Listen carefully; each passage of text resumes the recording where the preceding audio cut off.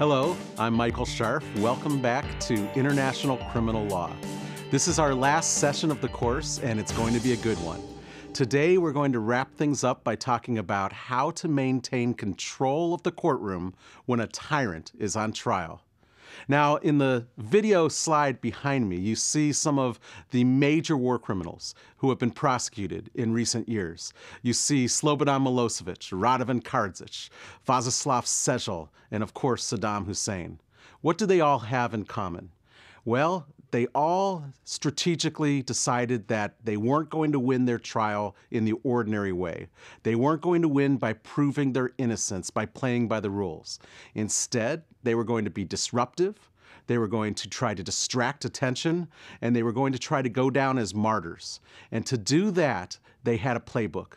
And the judges also had to decide what to do to try to disrupt the tyrants from hijacking the trial. So, in today's session, we have the following uh, historic um, examples of people who have done this throughout the ages. We have going back to the treason trial of Sir Walter Raleigh in 1603, or the trial of William Penn for unlawful assembly in 1670. These trials were so messy and disruptive that there were actually famous paintings of them. You have other famous trials in history going back through the ages. More recently, in the United States, we had the trial of Charles Manson. Charles Manson, of course, was somebody who um, 30, 40 years ago now, uh, committed a series of murders using a cult group mostly of women. And they were attacking Hollywood stars and killing them in the Hollywood Hills. During his trial, he would have his women that were co defendants all stand up and chant in unison. At one point, he jumped up and tried to attack a witness. Everything he did was geared not toward trying to become innocent in the eyes of the judge, but to try to make a political point in the eyes of the public. More recently, you have the trial of the 22nd World Trade Center bomber. This is the man who missed the plane, but was part of the conspiracy to blow up the World Trade Center on 9 11. Uh, Zacarias Moussaoui, in his trial, was so disruptive he had to be thrown out of court on several occasions. The most messy trial that was infamous in American history is the trial of the Chicago Eight, also known as the Chicago Seven, because one of the defendants was removed partway through the trial. This case was so messy that it is the blueprint for any dictator that wants to disrupt the trial. And what you're going to see that's very interesting is some of the participants in the Chicago 7 or 8 trial are still lingering around and having an influence in the modern day war crimes trials. So, what happened in that trial? What happened was in 1968, there were a number of anti war activists that set off a series of riots during the Chicago Convention for the Democratic election for president um, that ends the primary season. And during that convention and the riots, uh, these people played a, a, very big role in setting off the violence. So afterwards, when Richard Nixon became the president, he decided to make an example of them.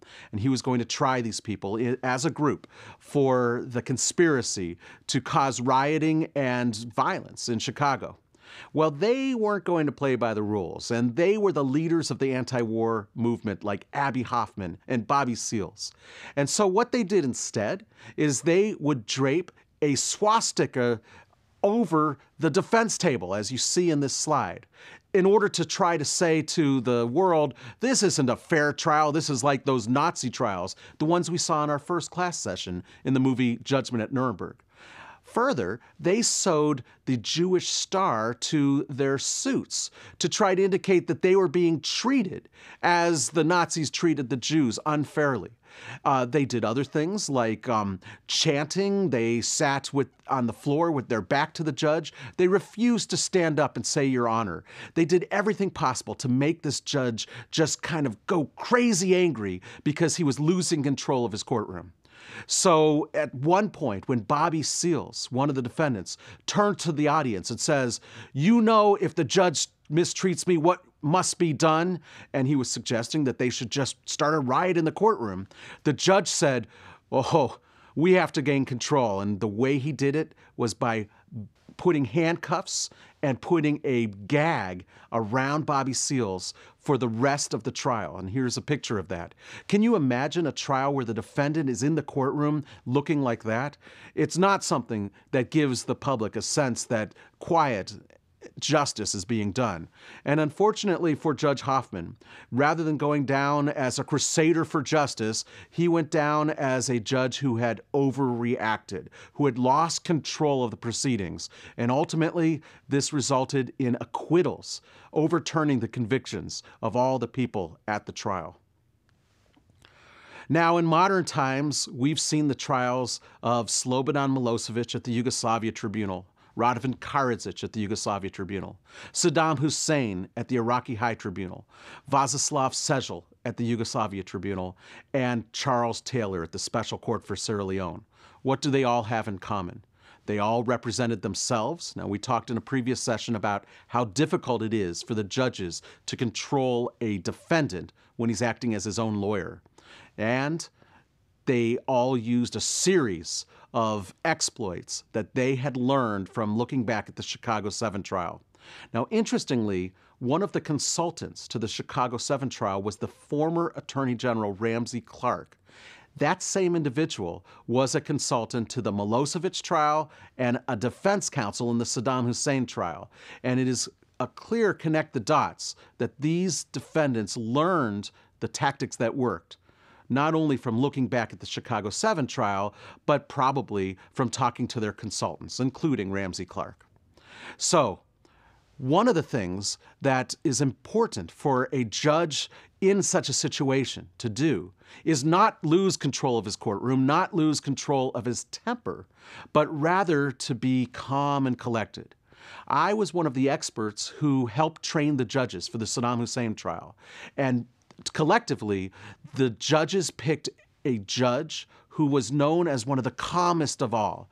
His name was Judge Rizgar Amin. So here you see Saddam Hussein in the courtroom, and he's up against Rizgar Amin, and it's the battle of the wills.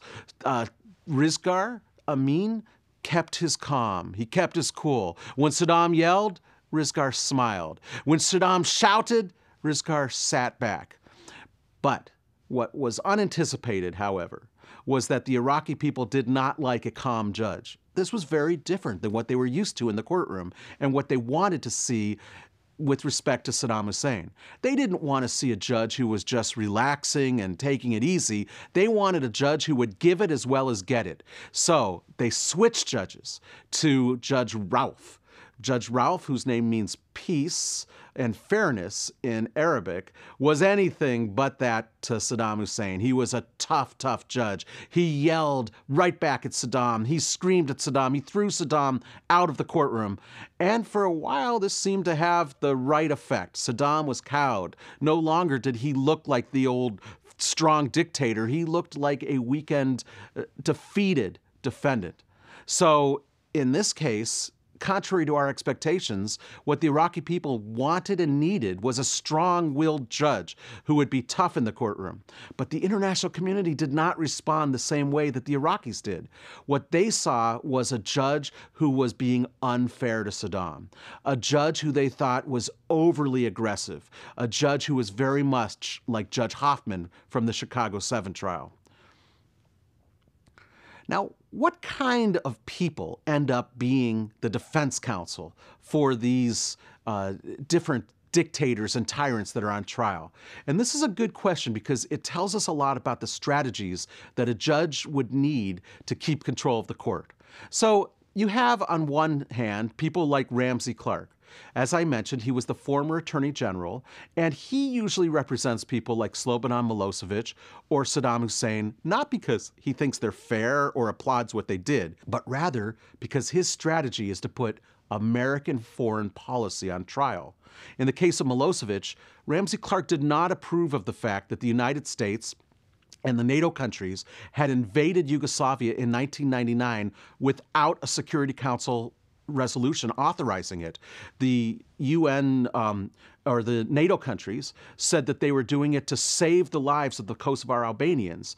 But according to Ramsey Clark and others, this was a violation of the UN Charter because they weren't authorized to do so. And he was going to make sure that that was clear during the trial of Slobodan Milosevic. In the case of Saddam Hussein, it was very similar. The United States and some allies invaded Iraq in 2003 again without Security Council approval.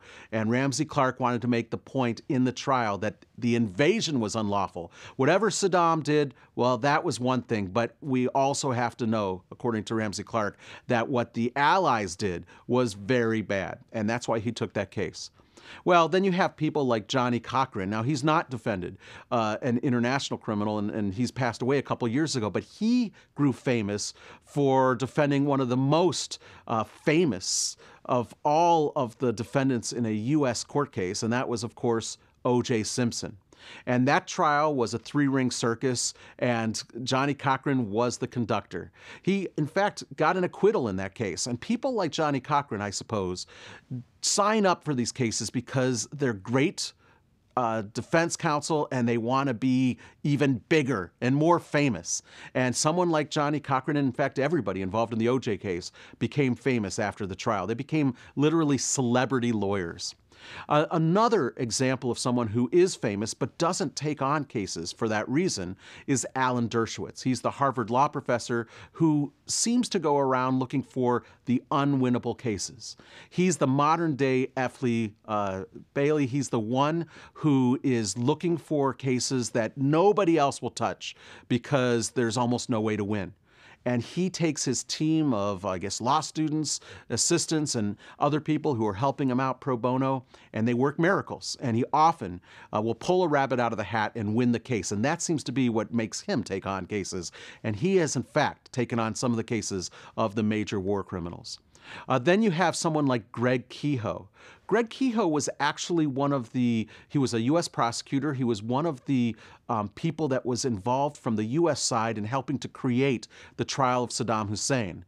Afterwards, he went up to the Yugoslavia Tribunal and became a defense counsel. And he's one of the few lawyers in the world to have gotten an international criminal acquitted by an international tribunal. And he's just a super lawyer and he lives and breathes this kind of thing.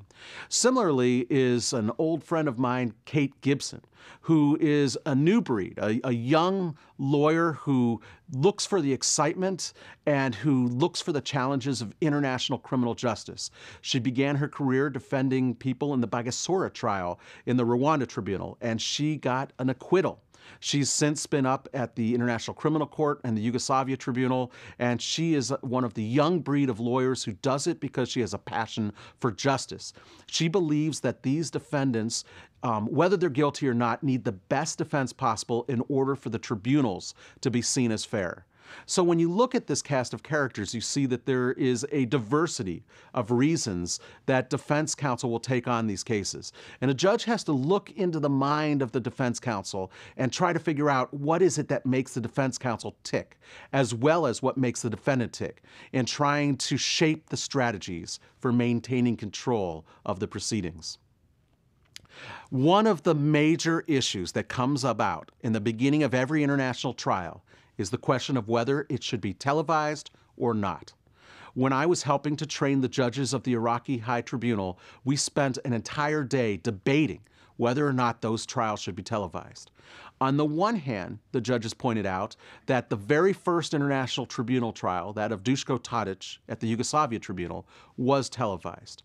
In, in addition, the Nuremberg trials were shown on movie clips that you could go and watch um, at the beginning of movies uh, during the 1940s um, as they unfolded uh, throughout the world. They were also on the radio for the Germans to listen to. So, since the Dushko Tadic trial in the Yugoslavia Tribunal, every international tribunal trial has been televised. So the Iraqi High Tribunal said, well, if they're going to televise, then we must televise because the world has to see the fairness of our proceedings and the victims have to see the evidence against the dictator. And his former colleagues have to see that he is defeated and that the rule of law has vanquished him. So this was in their mind. But what we told them is let's be practical. If Saddam Hussein gets to be in a televised trial, and if he gets to testify, or as it turned out, he gets to act as his own co counsel, he is going to hijack the proceedings. He is going to look into the television cameras and he is going to exalt his uh, former um, followers to resort to violence. And he is going to turn it into the messiest trial you ever saw, and the trial is not going to look fair. So we said, you know, you really, really should think twice about televising. But in the end, they thought that on balance, it was better to televise than not to televise. I think that at this point, it's hard for any international trial not to televise because the question would be, well, what are you trying to hide? All the other tribunals have televised. But I think that on a case by case basis, it actually makes more sense sometimes not to televise. And we'll talk in a few minutes about a compromise, which is sometimes you have to turn off the cameras in order to regain control of your courtroom. Let's look at the, the next slide. And this is asking us well, what are our options outside of court? What can a judge do to try to get into the mind, the psychology of the defendant, and use carrots and sticks to try to get them to behave themselves in court when their main goal is just to disrupt the proceedings?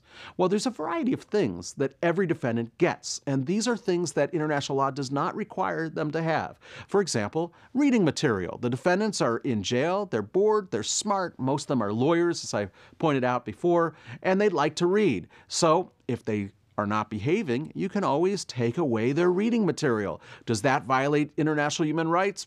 No, but it could be a, a, a, big inducement for them to behave themselves.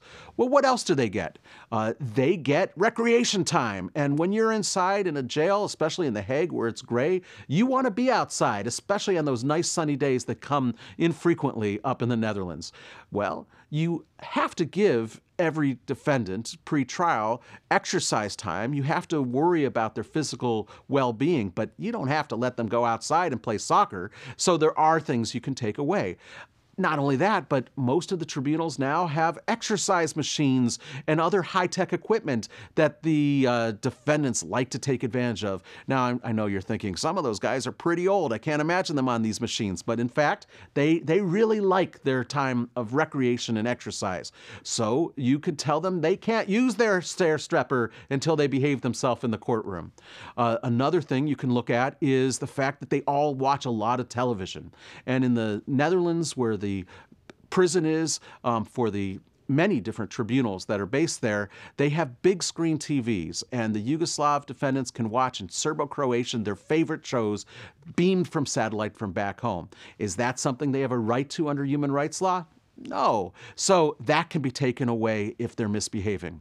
Uh, further, the international tribunals encourage them to play instruments and they encourage them to learn art uh, and, and do arts and crafts. Uh, if you go to the International Tribunal's um, jail cell, as I have, you will see that there are paintings and pots that have been done, beautiful pieces of work. You would never believe that these tyrants could be so artistic, and they love it. Well, if they're misbehaving, that's something else you can take away.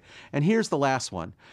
In the International Tribunal's prison in the Netherlands, there is a room that happens to be yellow and it happens to have several beds, and there's a couple of these rooms next to each other, and they're for conjugal visits. That's right.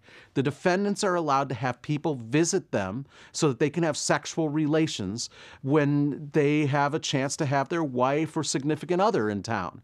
Well, that's not necessarily something that you get under the rules of human rights, and it's a very strong inducement. You can say, until you start behaving behaving, we're going to close the door to those yellow rooms. All right, so you see that the judges hold some cards as well. What's interesting, though, is that none of the judges have played those cards.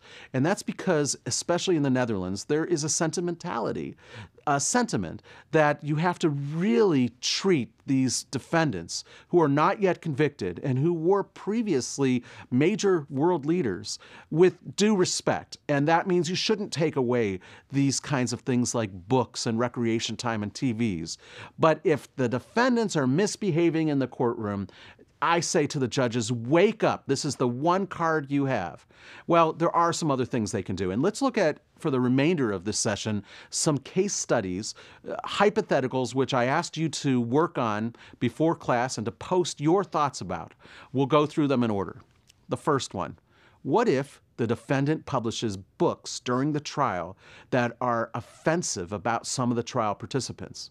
This isn't just a hypothetical. In fact, Vojislav Šešelj, uh, this is the guy who used to lead a paramilitary group called the Eagles, who were accused of playing soccer with human heads of their victims. This is a guy who's been accused of horrible things. He's on trial, he's representing himself, and what does he do? He writes books in Serbian about the different people that are involved in the trial. He wrote a book about Carla Del Ponte, the chief prosecutor, in which he said that she was the prostitute of The Hague. She, he used a different word.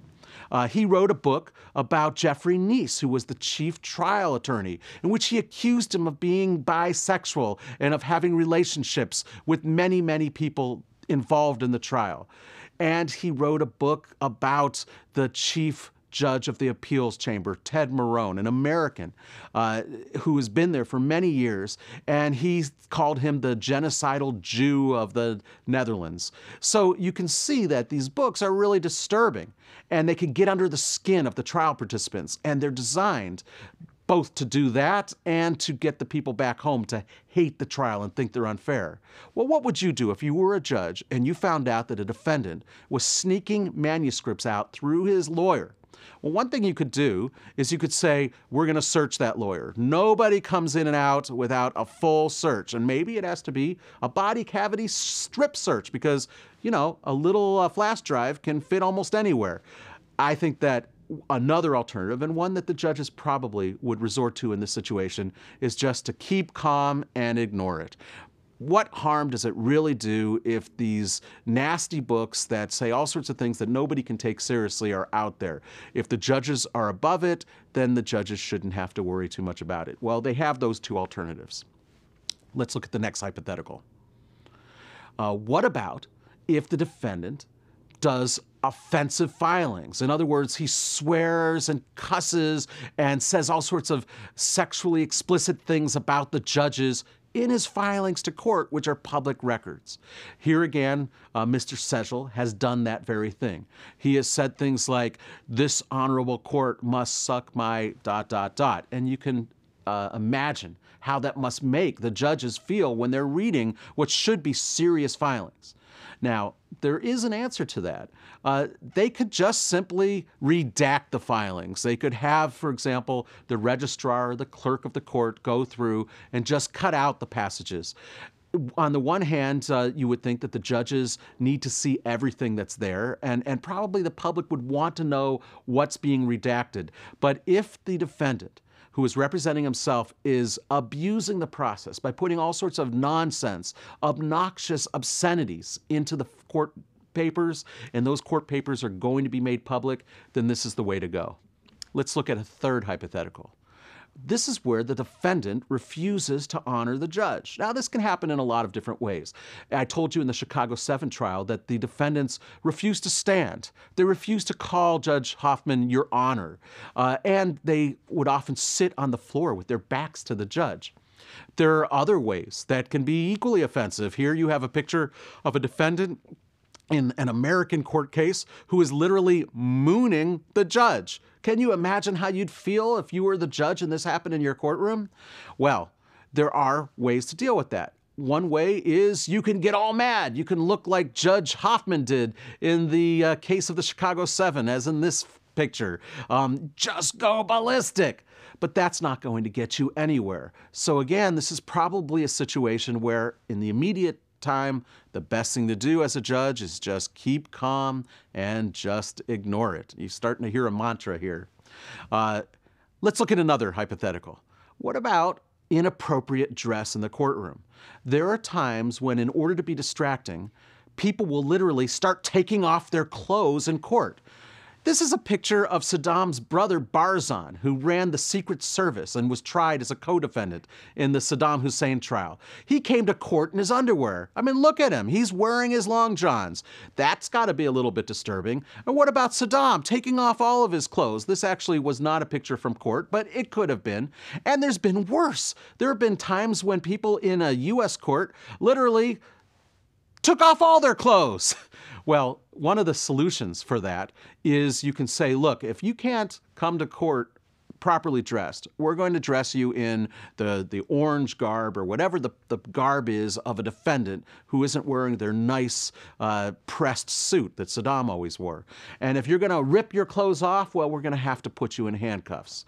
So there are ways in an extreme situation to make sure people remain clothed in the courtroom. I bet you never would have thought this would have been a problem, but in fact, this is the kind of thing that international judges are frequently having to deal with.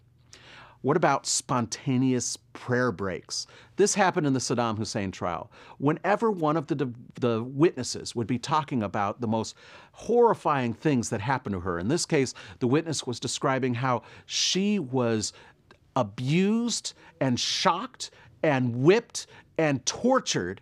And just when she was getting to the height of her testimony and people around Iraq were, all ears were listening to this, all of a sudden, all the defendants stood up and said, It's time for a prayer break. And it wasn't one of those major times during the day when you hear the, the sound of prayer um, and the call to prayer. No, this was a spontaneous prayer break. And there's Saddam waving the Quran saying, I have a right, a religious right to pray to Allah. Saddam, the very man who was accused accused years earlier of being a secular leader who didn't care enough about his religious uh, upbringing and background. There he was, raising the Quran and saying, I have a right to pray right now in the middle of this testimony. Well, this was very disruptive. It it hijacked the trial. The people who were watching on TV didn't get to find out from the witness the horrible things that were happening. They all were just wondering what the judges were going to do. Well, what can the judges do in this situation?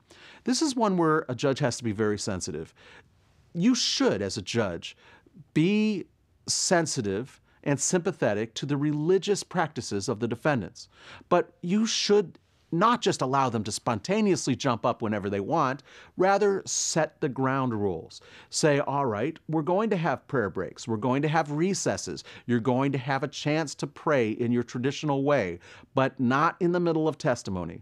And that's very important. If you set the ground rules from the beginning, if everybody knows what they are, then it won't look unfair when you enforce them.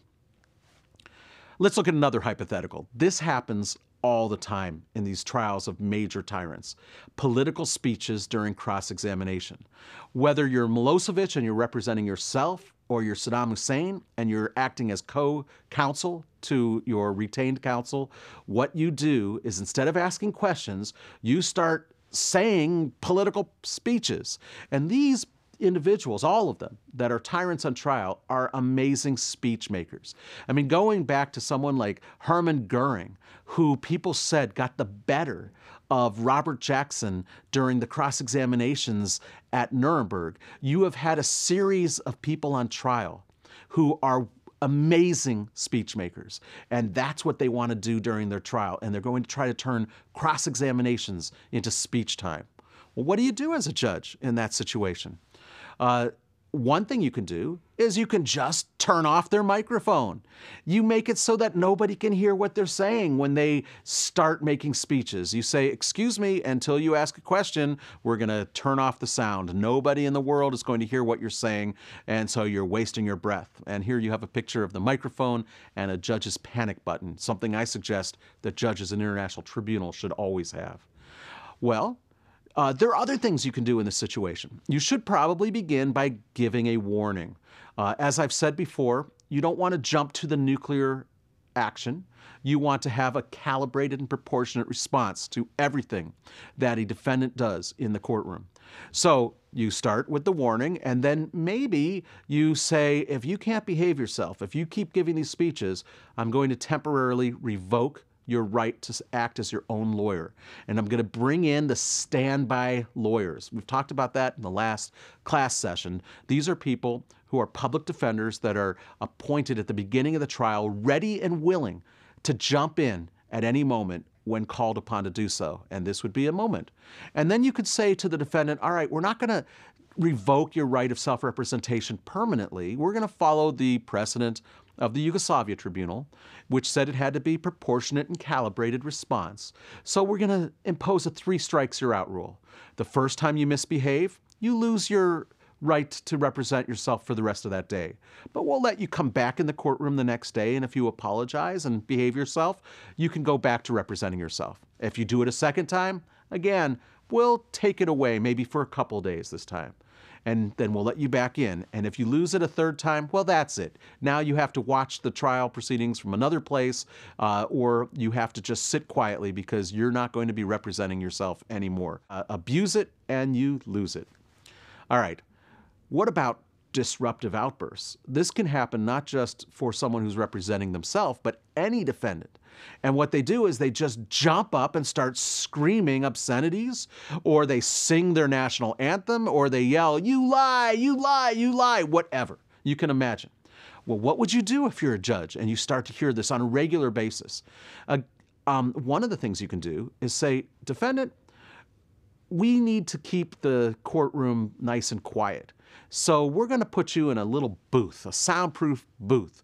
And except for when your microphone is on, nobody's going to hear what you say. This actually was done in the case of Adolf Eichmann. Uh, he was one of the subordinates of Adolf Hitler. He's the guy who got the trains to go to the concentration camps, to run faster, to kill more people, and he was ultimately prosecuted and tried in Israel in the 1960s, uh, a case that was made famous by Hannah Arendt in her book, Eichmann in Jerusalem, The Banality of Evil. Well, part of the reason he was seen as a banal character is because he was in a glass box and nobody could hear him yell and rant. Now, I suppose that that's not going to work for everybody.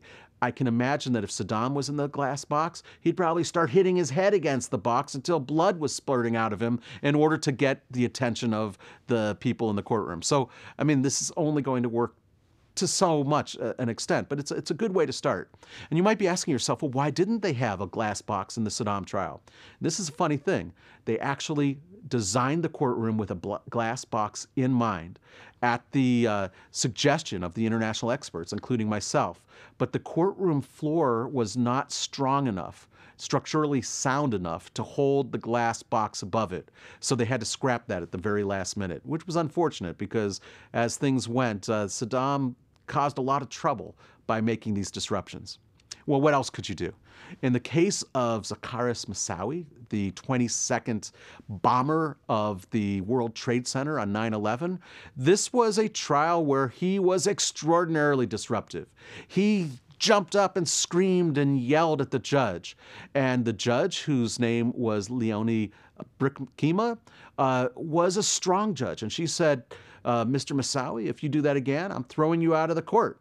And she threw him out on three separate occasions. And here you have pictures of him being escorted out of the courtroom. So, one of the things you can do is give a warning if the person is still being disruptive, temporarily remove them from the courtroom, and then again, play that three strikes you're out rule from American baseball, which basically says we remove you temporarily, you get to come back if you behave yourself. Second time, you're removed a little bit longer, but you get to come back. Third time, you're out of there. And where are you going to be? Well, you can watch the trial from a jail cell nearby on closed circuit TV. And what you can do is watch the proceedings and even have communications simultaneous with your defense counsel. So when something comes up, you can beep them and say, listen, that defense uh, or that prosecution witness is lying and you should ask certain questions on cross examination. So there are ways with modern technology to maintain the fairness of proceedings for the defendant and remove him from the courtroom so he cannot single handedly hijack the trial. Let's look at another hypothetical the walkout or the boycott. Almost every one of these tribunal defendants have at one time staged a walkout or boycott. And in the old days, before they had standby counsel, this would mean that the entire trial had to stop until either they came back or counsel, public defenders could be selected, trained, and educated and brought up to speed and then resume the trial. So you see here a picture of Karadzic on TV boycotting his trial. And we know that Saddam Hussein and the other defendants from time to time would walk out, leaving just a couple of defendants. Uh, these two, by the way, the ones that stayed, they ended up getting acquitted they weren't part of the cabal of the other defendants, and they, they realized that by playing by the rules, things would work better for them. Not so much with Saddam. So, what do you do in this situation? You go to your standby public defenders. You appoint them at the beginning of the trial. You tell the world that they've been appointed. You explain to the world how they've been educated, that they're up to speed, that they're ready to step in, and that it's perfectly fair to do so. And this actually will deter the walkout because the defendants and their lawyers will realize that if they leave the courtroom, they can't stop the proceedings. They don't hold all the cards because the proceedings will keep going on with the standby public defenders. Let's look at another hypothetical. And we're coming toward the end of our session here, getting more and more interesting. This one is the hunger strike. When defendants don't get their way, they just start starving themselves. Now, here's a picture of Saddam. He did so, and um, this particular, uh, whoever did this photo, said, This hunger strike is a hard thing, which actually was true. On cross examination, it turned out Saddam kept saying that he was uh, not eating, but in fact, uh, from time to time, he would be having um, snacks and food. So he was having a hard time with it. But ultimately, he started to get very sick. And this is a big question for an international tribunal, for a judge what happens if your defendant dies? If his health gets so bad, he literally expires in the middle of the trial. This happened in the Slobodan Milosevic case. He manipulated his medical intake in order to disrupt the trial, and things went wrong, and he actually died of a heart attack in the middle of the trial. And it wasn't at the beginning of the trial, it was actually right at the end. So, three years of testimony, three years and $300 million spent trying to prove the case against him. And instead of the case being written down in a judgment that would have a historic record that could be believed by the people in Serbia, poof, his death made the entire thing disappear because international tribunals have a procedure that says we're only able to convict the living.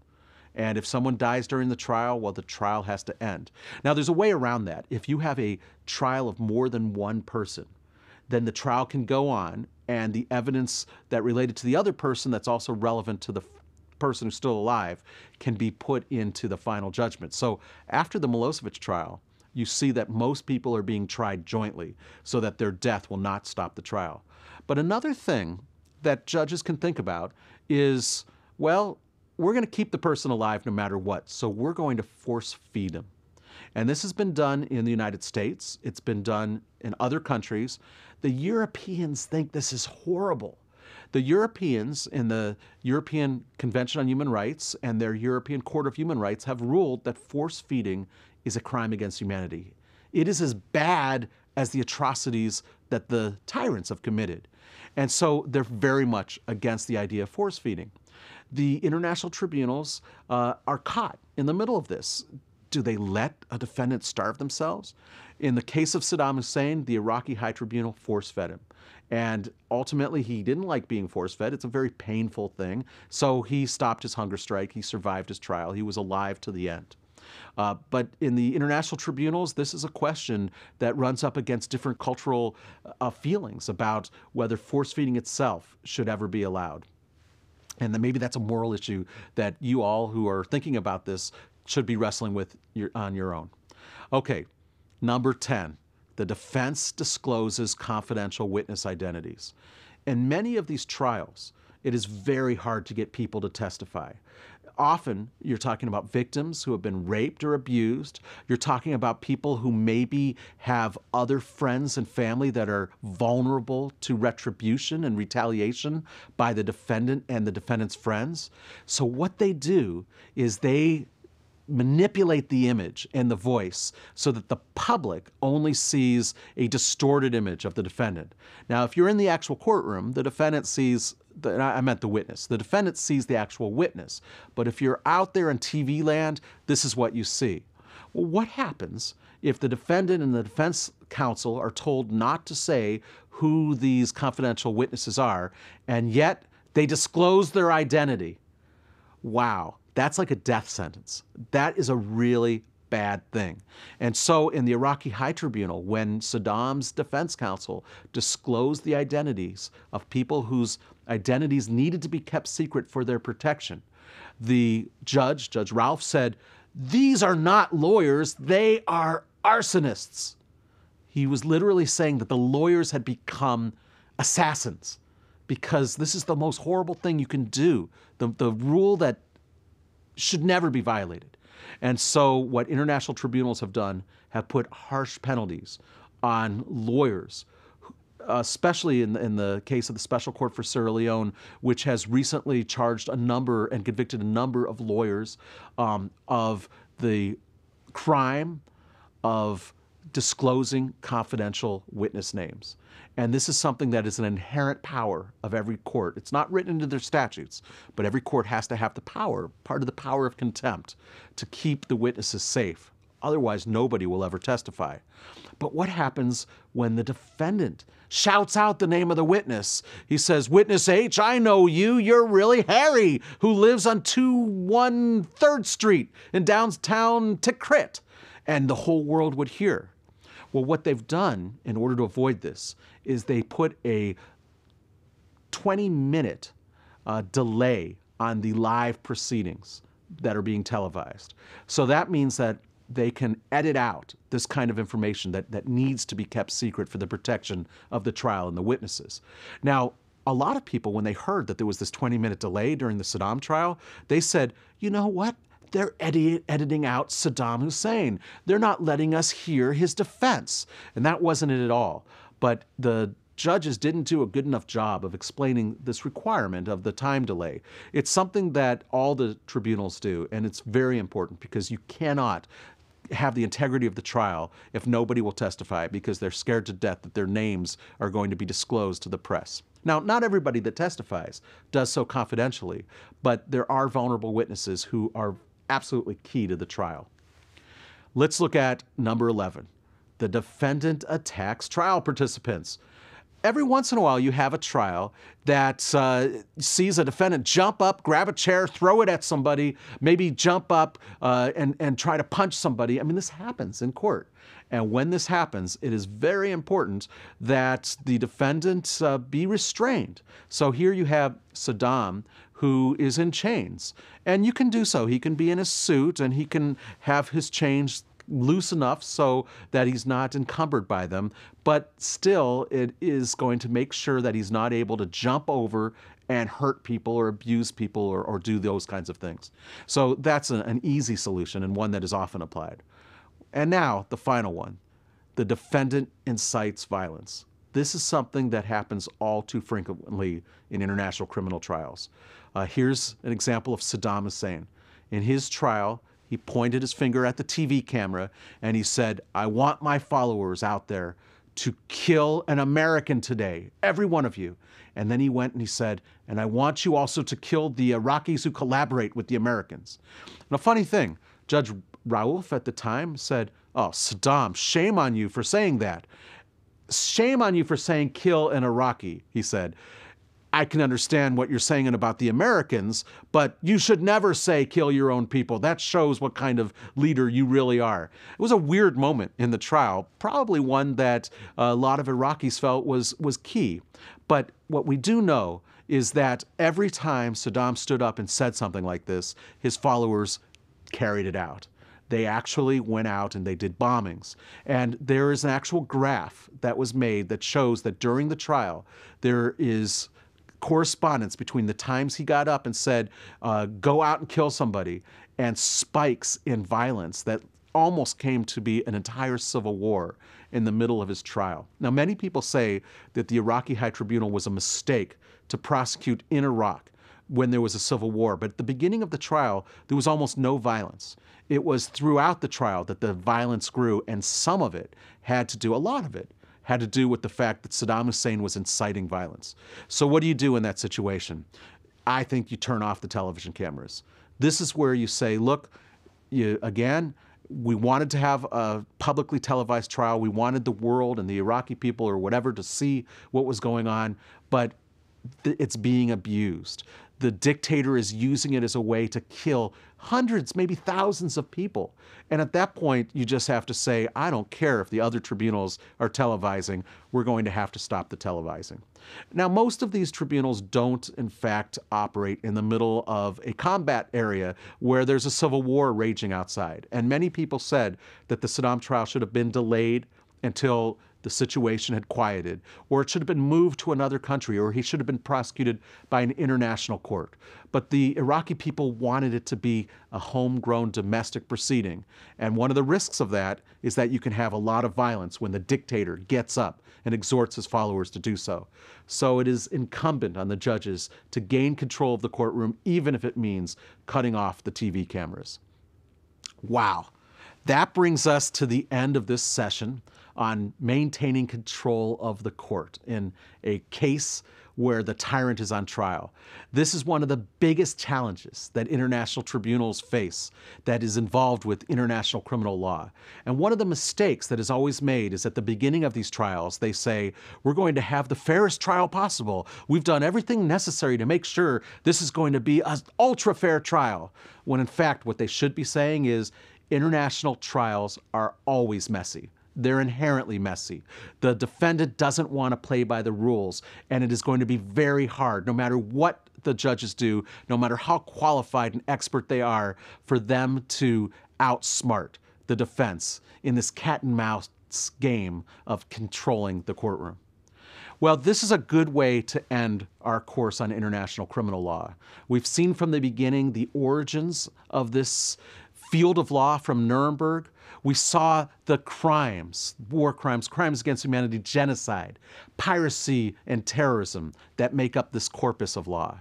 We've seen the special rules of responsibility of the defendant and the special defenses that are sometimes allowed in this context. We've seen the challenges of bringing these defendants to trial, and we've seen the challenges of trying to maintain control of the courtroom. I hope that you've enjoyed this course. If you're interested in other uh, things in this area, I have written a, a number of books in this field. And some of them that I recommend in particular are Enemy of the State, which is the inside story of the Saddam Hussein trial, and the um, newest book I wrote for Cambridge University Press, Shaping Foreign Policy in Times of Crisis, which tells the story of the torture memos, which we covered also in this course. I also like to say that my university, Case Western Reserve, is launching a online international business law course uh, starting next year. And if you, I will be teaching international law, the basic course as part of that. We have a number of very amazing professors that will be teaching. So if you enjoyed this course, you may want to take that for credit and you end up with an LLM degree. Uh, in the end, I want to say thank you very much for joining us for this course, and I hope that our paths will cross in the field of international criminal law.